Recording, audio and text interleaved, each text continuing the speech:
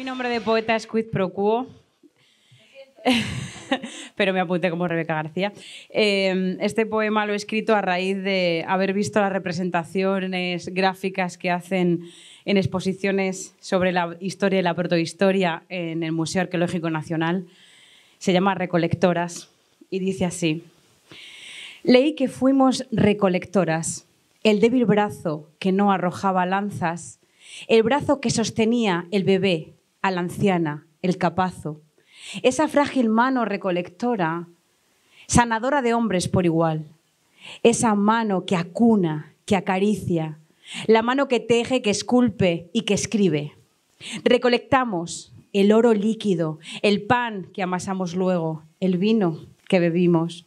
Recogimos la sabiduría de la madre, custodiamos la sangre viva y la devolvimos a la tierra cuando era tiempo. Recolectamos rayos de luna, bailando desnudas bajo el cielo.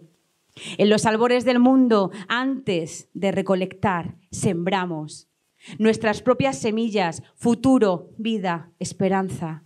Sembramos el primer trigo, la primera cebada, el primer olivo, los campos que sembramos. No hay tinta ni papel que pueda recogerlos todos.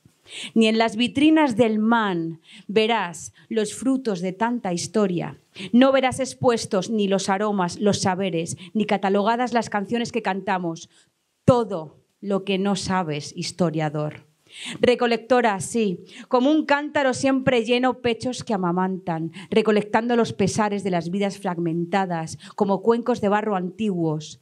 Junte usted todas las piezas en un alarde de erudito y alcanzará a comprender todo nuestro significado.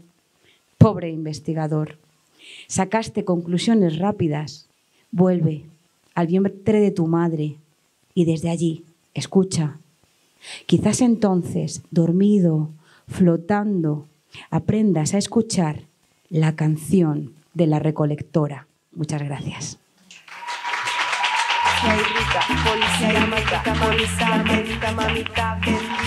Un fuerte aplauso para Rebeca.